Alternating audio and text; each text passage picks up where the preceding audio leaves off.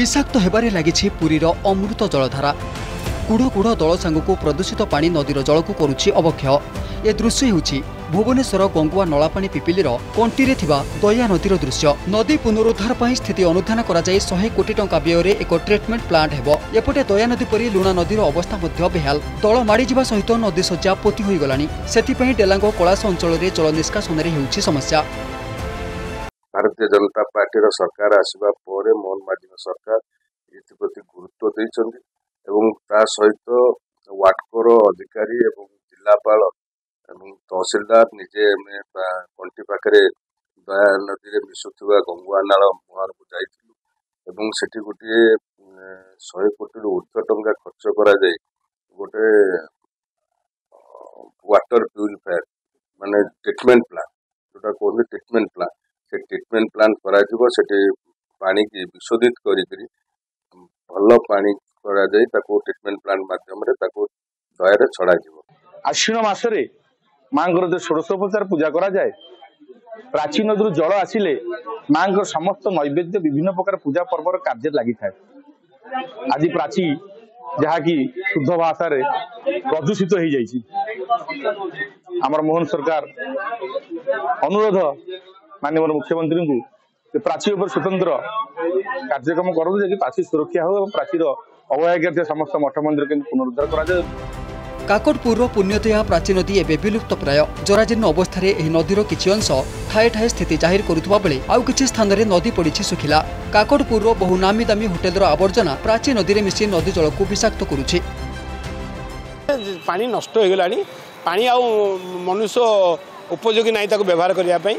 ତେଣୁ ସରକାର ତାକୁ ତୁରନ୍ତ ସେ ବିଷୟରେ ପଦକ୍ଷେପ କରି ଯମୁନା ନଈ ଏବଂ ମଙ୍ଗଳା ନଈର ପୁନରୁଦ୍ଧାର କରିବା ଦରକାର ଏବଂ ମୂଷା ନଈ ଯେହେତୁ ସେ ସାଙ୍ଗରେ ଲିଙ୍କ ରହି ତାକୁ ପୁନରୁଦ୍ଧାର କରିବା ଦରକାର ସେ ପା- ପାଣି କେମିତି ଅ, ମ- ମନୁଷ୍ୟ ତାକୁ ବ୍ୟବହାର କରିପାରିବ ତାକୁ ଉପଯୋଗୀ କରିବା ଉଚିତ। କୁଶଭଦ୍ରା ନଦୀ ଏ ଅଞ୍ଚଳର ଜୀବନରେଖା।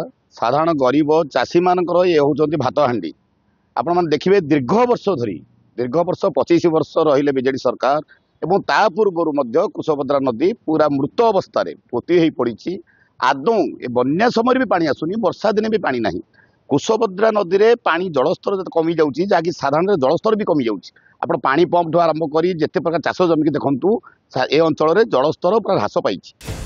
ସେପଟେ ନିମାପଡ଼ାର ଜୀବନରେଖା ଓ ଚାଷୀଙ୍କ ଭାତହାଣ୍ଡି ହେଉଛି କୁଶଭଦ୍ରା ନଦୀ। ନା ବନ୍ୟା ସମୟରେ ପାଣି ଆସୁଛି ନା ବର୍ଷା ସମୟରେ ପାଣି ଜମୁଛି। ଜଳସ୍ତର ସମ୍ପୂର୍ଣ୍ଣ କମିବାରେ ଲାଗିଛି। କୁଶଭଦ୍ରା ନଦୀରେ ପାଣି ନଥିବାରୁ ଚାଷୀମାନେ ଚାଷ କରିପାରୁନଥିବା ସହିତ ବାଲି ମାଫିଆମାନେ ବାଲି ତାଡ଼ି ନେଉଥିବା ଅଭିଯୋଗ ହୋଇଛି।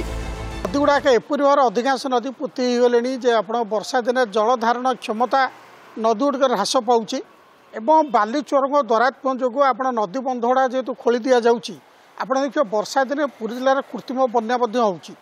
ତେଣୁ ବର୍ତ୍ତମାନ ସବୁଠୁ ବଡ଼ ଆହ୍ୱାନ ହେଇଛି ଆମ ପାଇଁ ରାଜ୍ୟ ସରକାର ପାଇଁ କେନ୍ଦ୍ର ସରକାର ପାଇଁ ଯେ ଯେଉଁ ନଦୀ ସଂଯୋଗୀକରଣ ବ୍ୟବସ୍ଥାକୁ ପୁରୀ ଜିଲ୍ଲା ଏବଂ ଓଡ଼ିଶାରେ କାର୍ଯ୍ୟକାରୀ କରିବା ଏବଂ ପୁରୀ ଜିଲ୍ଲାରେ ଯେଉଁ ନଦୀ ଗୁଡ଼ା ପ୍ରବାହିତ ହେଉଛନ୍ତି ଯେଉଁମାନେ ପୁରୀ ଜିଲ୍ଲାବାସୀଙ୍କର ଲକ୍ଷ ଲକ୍ଷ ଲୋକଙ୍କର ଜୀବନରେଖା ନଦୀ ଗୁଡ଼ିକର ପୁନରୁଦ୍ଧାର ପଙ୍କୋଦ୍ଧାର ଏବଂ ନଦୀ ବନ୍ଧର ସୁଦୃଢ଼ୀକରଣ ଜରୁରୀ ଆବଶ୍ୟକ ରହିଛି ଆମର ତ ଯାହା ନଦୀ ଥାଏ ନଦୀ ଉପରେ ତ ସେମିତି ଡ୍ରେଜିଂ କି କ'ଣ କରାଯାଏନି ପୋର୍ଟ ହିସାବରେ ବଟ୍ ଡେଫିନେଟଲି ଯଦି ଏମିତି କୌଣସି ଗ୍ରିଭେନ୍ସ ଆସିବ କନସର୍ନ ଇରିଗେସନ ଡିପାର୍ଟମେଣ୍ଟ ଏବଂ ପଲ୍ୟୁସନ କଣ୍ଟ୍ରୋଲ ବୋର୍ଡ ଏବଂ ସମସ୍ତ କର୍ତ୍ତୃପକ୍ଷକୁ ତାଙ୍କର ମିଳିତ ମତ ନେଇକି ଯାହା କାର୍ଯ୍ୟ- ମାନେ ଯାହା ଅ, ଆମର ନଦୀ କୁହନ୍ତୁ କିମ୍ବା ନଦୀ କଣ୍ଠିତ ନାଳର ଅ, ସ୍ୱାସ୍ଥ୍ୟ କେମିତି ଭଲ ରହିବ ଜଳର ତାପରେ ଡେଫିନେଟଲି ଆମେ ପଦକ୍ଷେପ ନେବୁ ପୁରୀ ଜିଲ୍ଲାର ପ୍ରାକୃତିକ ଜଳ ଉତ୍ସ ଏବେ ବିଷ ବଳୟରେ ପରିପୂର୍ଣ୍ଣ ହେବା ସହିତ ଅବକ୍ଷୟ ହେବାରେ ଲାଗିଛି। ତେଣୁ ଜିଲ୍ଲାର ସମସ୍ତ ନଦୀକୁ ପୁନରୁଦ୍ଧାର କରିବା ସହିତ ଏଥିପାଇଁ ସରକାର ସ୍ୱତନ୍ତ୍ର ଯୋଜନା ପ୍ରସ୍ତୁତ କରିବାକୁ ସାଧାରଣରେ ଦାବି ହୋଇଛି।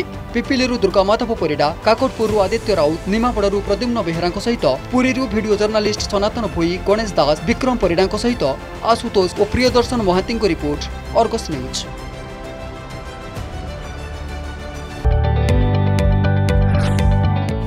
जदि आपण को आम भिडी भल लगा तेब आम चेल्क लाइक सेयार और सब्सक्राइब करने को जमा भी बुलां नहीं